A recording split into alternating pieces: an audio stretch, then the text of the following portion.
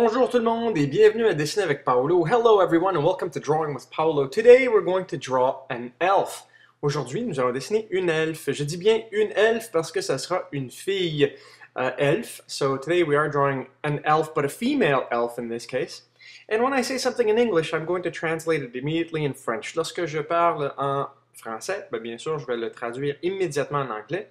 Donc portez attention seulement à mes mots francophones ou français si vous êtes français et puis ça aura du sens. If you listen to my English words, and well, it'll make all a lot of sense. If you try to understand the French and you're not French, well, it might be a bit more difficult. But the point here is, I am just translating everything back to back.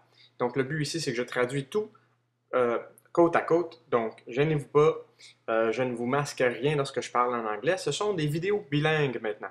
These are now bilingual videos because of the quantity of people that are following me. So you may notice that I've already gone ahead and drawn uh, the body here of this elf. Donc vous avez peut-être remarqué que j'ai déjà dessiné le corps ici du elf utilisant les mêmes techniques que j'utilise régulièrement, donc de dessiner des formes de base pour établir où je veux mettre le corps de, cette, de ce personnage, comme par exemple euh, le dos et les hanches dans ce cas-ci. So I've already used the same techniques I use generally, which is to put down some basic shapes, foundation shapes, to show where I want to put my character on my page. And you can tell now that I'm drawing the hair here going down on this character's chest. Alors, je dessine maintenant les cheveux ou la chevelure qui descend ici sur le devant de la poitrine. Euh, tout simplement avec des lignes de base très, très lousses, euh, pas trop de détails, et je n'appuie presque pas sur mon crayon. Ensuite, nous allons dessiner la main ici, du côté droit. So now we're going to draw the hand on the right side, and in this case, she is clutching a um, bow, and uh, this bow will be made of wood. Donc, dans sa main euh, droite, elle aura une arc, euh, et puis cet arc sera fait de bois. Euh, et puis, bien sûr, bon, il faut faire des détails. Euh, je veux faire en sorte que ce personnage ne, ne, soit pas en train de tirer une flèche, elle ne fait que tirer sur la corde de, l'arc. So this character will not be shooting an arrow, she's only pulling on the cord or the string of the bow. Okay, so that's what this other hand is doing, it's pulling on the string. Et cette main ici, la main euh, gauche, est en train de tirer sur la corde tout simplement. And of course, this being a female, we have to draw breasts. And therefore, this is the left breast and the right breast coming over here. Étant donné que ceci c'est un personnage féminin, il ben, faut lui dessiner les seins. Et voici ses formes présentement sur la poitrine, les formes de seins pour ce personnage. Euh, nous, euh, nous, allons dessiner les lignes de contour avec des lignes très pâles, j'appuie très peu. Et maintenant, on peut effacer ces lignes. Now we can erase all of these little lines that we don't need in one swoop. But really, I just use my eraser here. Euh, en réalité, j'utilise bien sûr ma gomme à effacer. Je n'utilise pas réellement la main. Ma main, c'est un truc de montage. Mais à la maison, utilisez votre gomme à effacer. You know, the way that I erase with my hand is really just a uh, an editing trick. So you guys use your eraser at home. Alors, nous allons dessiner sa cape. We're going to draw her cape. It's flowing here in the wind. Donc, sa cape vole au vent présentement. Et puis, on va lui faire des belles courbes. We're going to draw some really nice curves here to establish where the cape is going. And it's a hooded cape, so she will have a hood behind her neck. Donc, elle aura aussi un capuchon derrière son cou, euh, parce que c'est une cape avec capuchon. Donc, on fera ensuite l'arc, la corde, euh, son carquois dans lequel elle a ses flèches. So, later on, we're going to draw her, her uh, bow, her cape, her hood, and also the uh, what she holds her arrows in. You guys know the name of that? What do we hold our arrows in? Yes, a quiver. So quiver in English, carquois en français. Um, so now we're going to go ahead and draw these uh, cuffs that she has on her wrists. This is to protect her uh, forearms from cord burn. We can erase these lines. Donc nous allons dessiner des... Euh, c'est comme des bracelets autour de, son, de ses avant-bras pour lui, la protéger de déraflure à cause de la corde de, de, son arc. Et elle en a un de chaque côté, donc sur chaque bras. Elle a ces éléments-là faits de cuir et on peut effacer ces lignes. So we erase those lines. We've drawn those two cuffs on either side. And now we can add some detail to her t-shirt here. Nous allons maintenant ajouter des détails au niveau de son gilet. Donc, elle porte plusieurs couches pour la tenir au chaud, bien sûr, dans la forêt. Puis on peut effacer cette ligne. So she's wearing multiple layers to keep her warm in the forest. And we'll add a few details to this outfit of hers. So a nice oval line. Une belle ligne ovale ici sur son, sur son euh, bracelet. Et puis, je vais ajouter ici son capuchon. We're going to add her hood back here. Going around like that. And there's the hood. And now we're going to add a belt that's holding up her quiver. Donc, nous allons ajouter aussi une ceinture qui tient son carquois en place. Voilà. Des belles lignes euh, qui se suivent, des lignes parallèles. Par parallel lines uh, drawn next side by side, which represent this belt of hers, holding up her quiver. And her little muscle line there down her belly. A little v-neck sweater. Donc, nous allons lui faire aussi un gilet en forme de... Son collet est en forme de V. Ici, avec une petite épaisseur. Et ensuite, nous allons faire des détails euh, comme si elle avait des vignes dessinées sur le cuir. We're going to draw little vines here, uh, as if this was drawn into the leather of her sort of armor stuff that she has. Her gauntlets. Maintenant, nous allons dessiner, bien sûr, les éléments du visage. Let's draw her face. So her eyebrows and her eyes, almond shapes. Donc, une forme d'amande pour ses yeux. Et ensuite, nous allons dessiner son nez. I'll draw her nose in here. Son menton, her chin. Add nostrils, on ajoute les narines. Ensuite, on peut aller ajouter, bien sûr, quelques détails au niveau du nez. On va effacer les lignes intérieures. We'll get rid of those lines inside her face that we don't need anymore. That crosshair that we drew in to begin with. Get rid of that. We'll add some hair details here. Nous allons dessiner des détails pour les cheveux maintenant. Et nous allons ajouter quelques détails au niveau de son visage. Voilà, ligne de contour. We'll add a pupil here, une pupille, une autre de l'autre côté.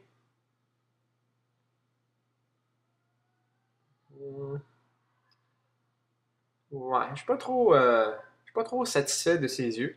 I'm not too satisfied of her eyes. I think I'm to fix it later on. Je crois que je vais arranger ses yeux plus tard parce que je, je suis pas très très euh, content de ce résultat, donc je vais le refaire. I'm going to redraw her face later on because I'm really not satisfied with this. So get this out of the way and redraw that. And it's okay to erase. If you've made a mistake, go ahead and erase and redraw it. That's fine, and everybody does it.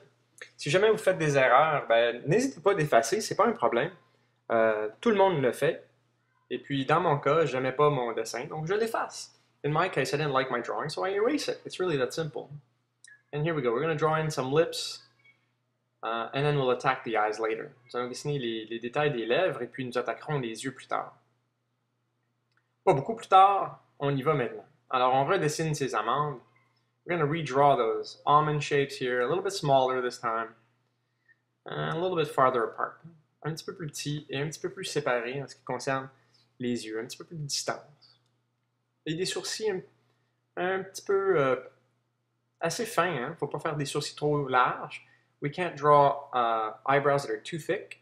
And don't forget, don't forget the detail within her ears here. N'oubliez pas les détails à l'intérieur de ses oreilles. Ligne de contour, outline, and we're going to add a little bit of a line here on the edge of her nostril. Et puis, il faut pas oublier de lui mettre de l'ombre sous sa paupière ou derrière sa paupière. We're going to add a little bit of uh, shading behind her eye here. Just like that, with a little bit of a, we can probably see her eyelash a little bit. Donc on peut voir les cils au bout des yeux un petit peu. Et voici les cheveux. Here we go with the hair, and her hair is tied back with certain braids that we can see here on the side of her head. Donc ses cheveux sont attachés par en arrière avec des tresses de chaque côté de sa tête. Ces tresses vont s'attacher derrière sa tête, mais on voit ses cheveux longs devant. So we can see these lines and get rid of those.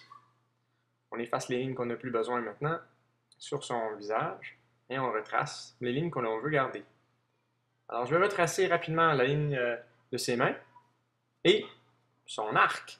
Let's draw her bow. Bow in English, arc en français. Um, so these are the lines to the bow. Voici les lignes pour l'arc. Et puis c'est en tout en, en fait c'est fait de, de bois. Hein. C'est juste une branche qu'ils ont pliée. Uh, it's really just a branch that they've bent, that they folded to give it the shape of a bow. Et puis, euh, nous allons ajouter des détails de bois plus tard. Donc, voici la corde maintenant. Here's the, the uh, cord that is going to the bow. It's probably a strand of something, maybe a horsehair or God knows what. Je sais pas de quoi est faite la corde de, de l'arc. Mais bon, nous allons lui dessiner les cheveux, lui faire les ombres et les reflets. So we're going to draw the shadow and light of her hair, the reflections in her hair.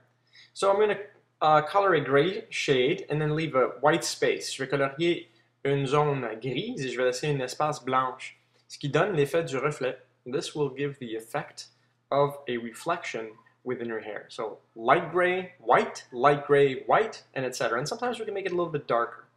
Alors ce qu'on veut faire, c'est un gris pâle, un peu de blanc, un gris pâle, un peu de blanc, ainsi de suite. Puis des fois, on peut aller mettre un petit peu plus foncé euh, à certaines places, comme ce que je suis en train de faire présentement. And there you go, you've got nice hair details going on for the top of her head. So this elf is blonde. Cette elfe est blonde. Et puis nous allons travailler un petit peu le contour des mains. We're going to redraw the exterior lines of the hand. This hand is holding the, the string to the bow. Cette main qui tient la corde de l'arc.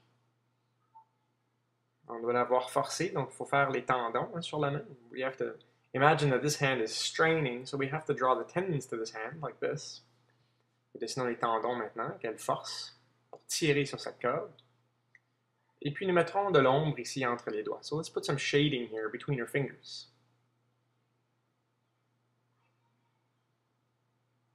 There you go.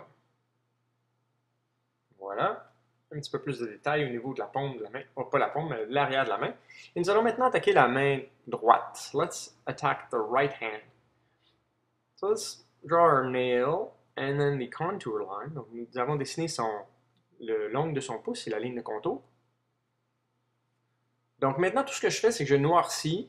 Je pèse plus fort sur mon crayon pour uh, tracer les lignes que je veux garder. So I'm, I'm pressing a little bit harder on my pencil to keep the lines I want to keep. So these are the lines that I like, these are the lines I want, so I'm going to trace them a lot darker. Donc ceux-ci sont les lignes que je veux garder, je vais tracer plus fort et je vais effacer les lignes que je veux plus. And I'll erase the lines I don't want anymore.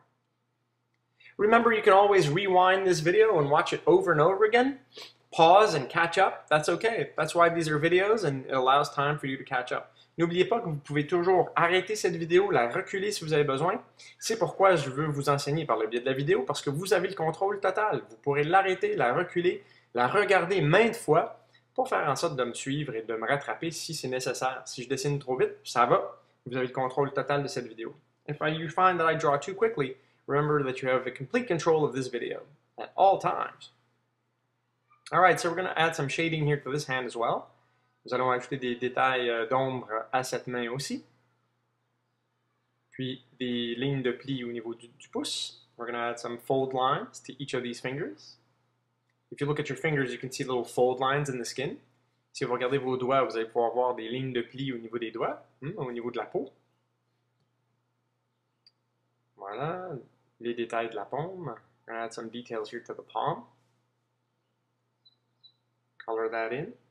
Nous allons tout colorier ici à l'intérieur, très sombre, ce qui repousse la main, qui l'envoie un petit peu plus loin en arrière. And then we're going to draw the gauntlet. Nous allons dessiner ensuite le, grand bracelet de cuir. En fait, il me manque un mot pour ceci. C'est pas un bracelet, mais c'est bon. C'est un protège avant-bras.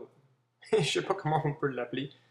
Aidez-moi les amis sur les commentaires de YouTube. Dites-moi en français euh, ce que ça veut dire. En anglais, on appellerait gauntlet. In English, we call these things that are protecting your forearms gauntlets, but in French, the French word escapes me at the moment. So I hope you maybe leave a uh, comment for me in my comment page uh, on this YouTube channel. Donc laissez-moi un commentaire pour me dire que sont ces longs bracelets de cuir sur ses avant-bras en français, s'il vous plaît. Laissez tout ça dans les commentaires, dans le champ des commentaires de la page YouTube que vous êtes présentement, où vous êtes présentement. So let's add a little bit of a coloring here, and using my eraser, I'll add a reflection. En utilisant ma gomme à effacer ici, je crée un reflet. Étant donné que c'est du cuir, le cuir reflète la lumière un peu, et c'est à quoi sert mon efface. So uh, leather does reflect light, and in this case, the eraser will help me give that effect. It's really cool, actually. I'm gonna make this here little leaf shapes and patterns on this leather band. Alors, je vais dessiner des petits patrons de, de feuilles et de vignes sur son cuir. Ça a été gravé peut-être sur son, son cuir pour démontrer que c'est une elfe. Ben, elle aime la nature, elle aime l'environnement, et puis donc, ce sont ces détails qui apparaîtront sur ses vêtements. So because she's an elf, uh, all the details uh, that are printed on her clothes reflect nature and the environment. So that's what this is all about. And of course, let's draw the, the lines that represent wood here. Nous allons maintenant dessiner les lignes qui représentent le bois de son arc, comme ceci, très simplement, des lignes verticales, et nous colorierons ensuite la branche au complet. So we just draw on vertical lines, and then we're going to color the whole bow in a nice gray tone, and then add darker lines where we had lighter ones. Donc nous allons maintenant retracer plus foncé les lignes verticales que nous avions mis précédemment, comme ceci.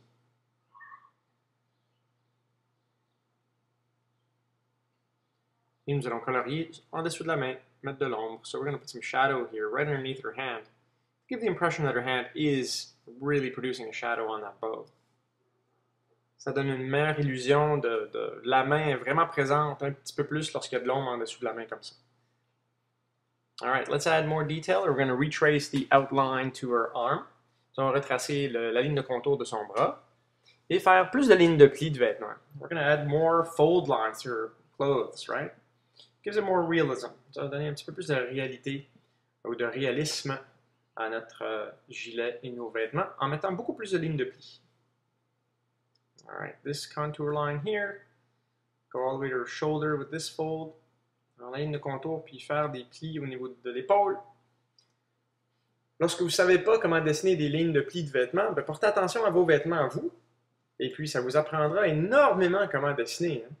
La réalité, ben, c'est très simple à répéter si on porte attention à ces détails.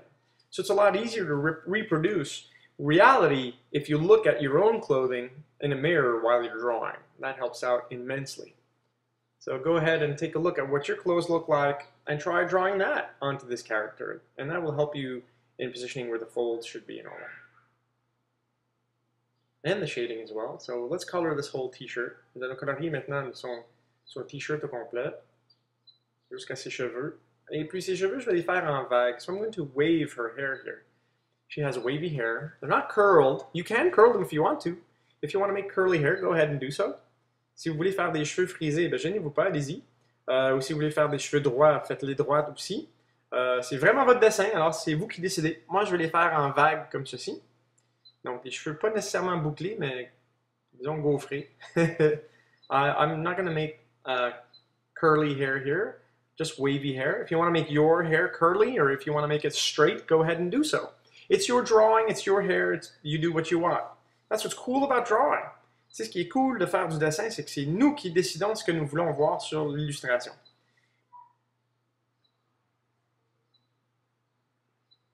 I hope you guys at home are learning French at the same time. Je souhaite que vous à la maison, vous êtes en train d'apprendre l'anglais ou repratiquer votre anglais. Lorsque je parle en anglais, ben, portez attention aussi, si ça vous intéresse. Sinon, portez seulement attention à mon français et au dessin en même temps. If you feel like learning French, well, it's a great opportunity to do that. Or just practice your French. Listen to what I say in French, uh, and you may learn something, you know, or practice it anyway. So here's more detail on the right side of her hair. Voici plus de détails au niveau du côté droit de ses cheveux. Cheveux in French, hair en anglais.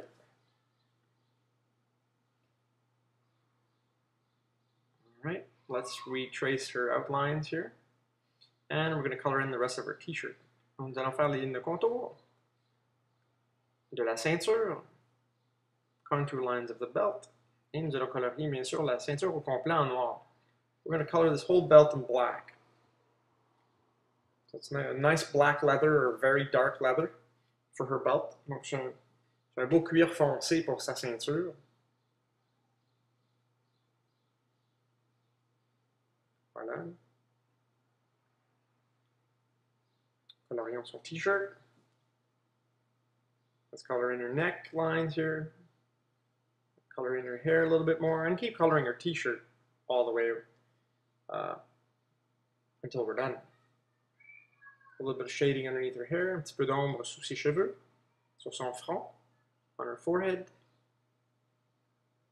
Then we're going to add some shading on, the un underside of her arm. Nous allons ajouter de l'ombre ici sur l'en dessous de son bras pour donner un effet 3D. And we'll add a bit of shading here too to give the, uh, the idea of volume. Donc, nous voulons donner l'idée ou l'impression de volume lorsque nous mettons de l'ombre sur un personnage. Donc, ici, la ligne du dos, back line here, and we'll color this nice and dark back here, push that back. And don't forget the shading on this volume. Nous voulons mettre du volume ici, donc on va ajouter de l'ombre pour donner vraiment l'impression que cette partie du corps est en train de sortir de la page, si on veut. It gives the, it gives the illusion that this object or all these body parts are in 3D. That's why we use shading. Let's add some t-shirt lines, some t-shirt folds here. Alors nous allons ajouter des lignes de t-shirt, des lignes de pli, pour donner plus de réalité, plus de réalisme à notre illustration.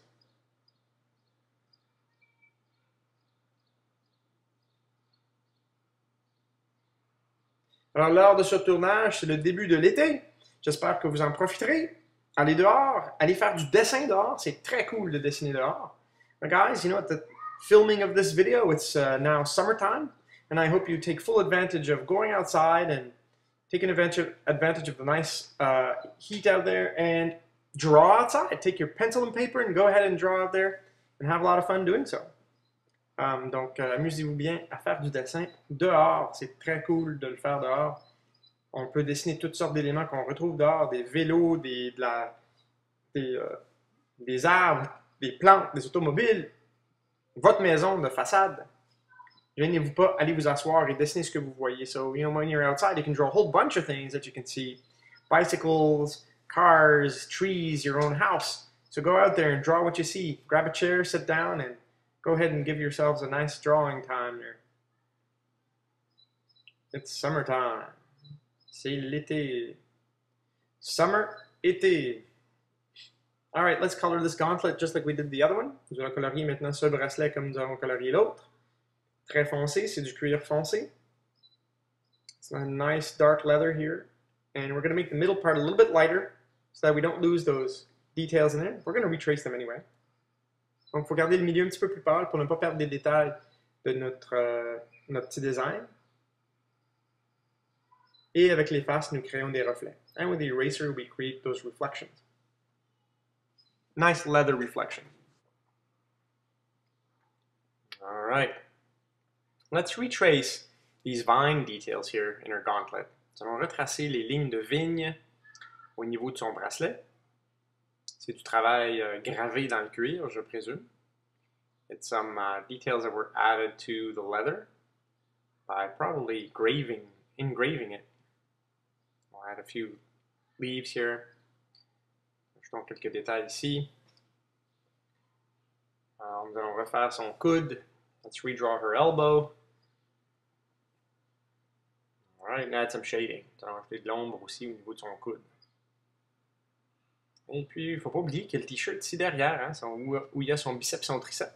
Where her bicep and tricep uh, are, well, we need to retrace that, of course.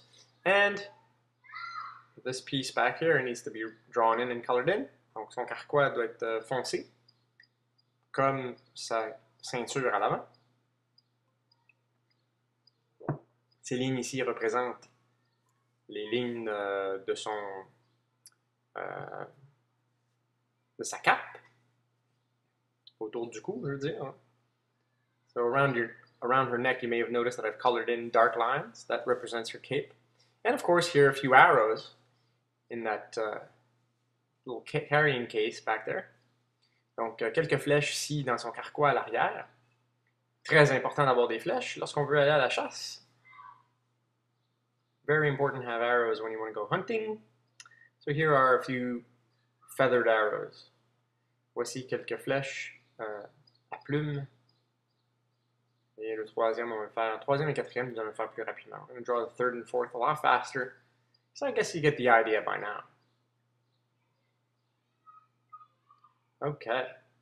Let's finish off this clothing with a belt line. Nous allons terminer ces vêtements avec une ligne de ceinture ici. Donc la boucle, here's a belt buckle, la boucle de la ceinture, un genre de C allongé. It's sort of like an elongated letter C. And we're going to add our belt loops here. Donc, euh, des petits anneaux à ceinture sur ses vêtements pour faire passer sa ceinture, bien sûr. Et nous allons colorier sa ceinture très foncée comme celle qui est sur sa poitrine. And we're going to color her belt line very dark, just like we did for the one that is going across her chest. All right. A few more t-shirt lines. Un petit peu plus de, de plis de vêtements ici.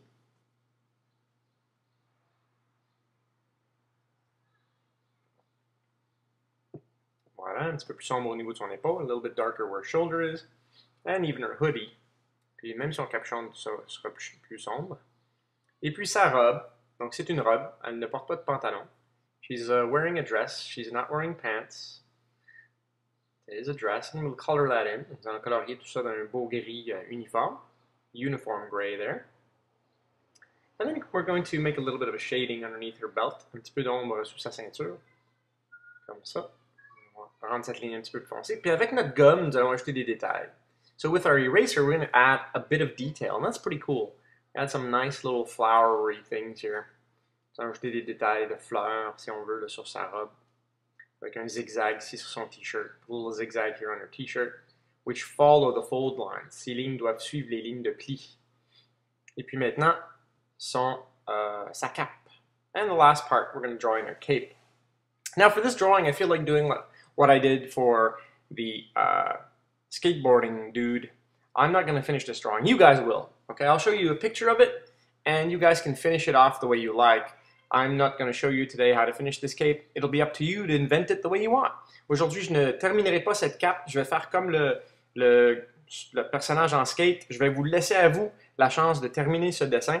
Je vais commencer bien sûr la cape, mais je ne la compléterai pas. Et ce sera à vous de, de terminer la cape de la façon dont vous voulez. Je vais vous montrer une photo. So I'll show you this picture here in a few seconds. I'm just going to color in the cape a little bit, but then it'll be up to you to finish it. Donc, je vais colorier la cape un petit peu, puis ce sera à vous de le terminer. Et vous verrez la photo dans quelques instants. Alors, merci d'avoir été des nôtres. Revenez nous voir la semaine prochaine pour un autre épisode de Dessin avec Paolo. Thanks for being with us today. Come and see you next time for another episode of Drawing with Paolo. And here's the finished drawing. Voici le dessin complété. Au revoir, à la prochaine. See you next time.